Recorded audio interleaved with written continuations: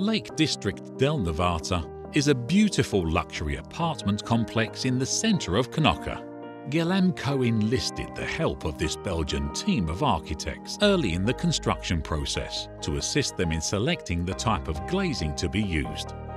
After careful consideration of aesthetic criteria, including the colour impression on the exterior of the building, the decision was made to use Stopray Vision 62, fitted with a premium black warm edge spacer.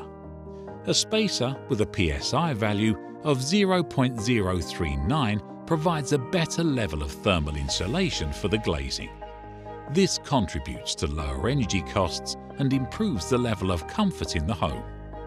This sunproof glazing ensures maximum transmission of light, while reducing the amount of heat from the sun entering the building. This results in better temperature control inside the building, making it more pleasant to live in. Byldis Facades, based in Veldhoven, manufactured the window frames and supplied 6,500 square metres of AGC Stopray Vision 62 in total.